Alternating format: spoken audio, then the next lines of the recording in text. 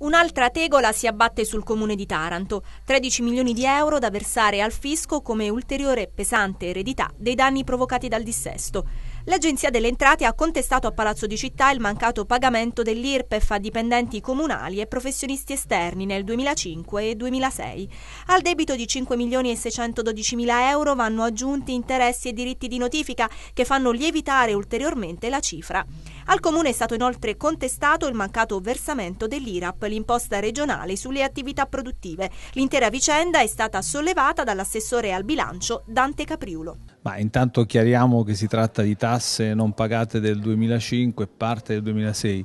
Ovviamente le mosse del Comune sono quelle di verificare l'esattezza di questo importo, dalle prime verifiche c'è qualche incongruenza rispetto al dato che ci ha comunicato l'Agenzia delle Entrate, quindi attraverso i nostri tecnici faremo gli approfondimenti, poi quello che sarà dovuto, così come abbiamo fatto per la larga parte dei debiti ereditati del passato, li pagheremo, diciamo, si aggiungono ai tanti debiti che abbiamo ereditato, li pagheremo con gli strumenti che la legge ci mette a nostra disposizione, in questo caso essendo antecedenti il 31 dicembre del 2006 la competenza della OSL, quindi passeremo questo debito alla OSL che lo pagherà la metà, però è bene che i cittadini sappiano che anche quella metà dovremo pagarlo col bilancio comunale, quindi sono altre risorse che purtroppo dovremo pagare per fronteggiare debiti del passato.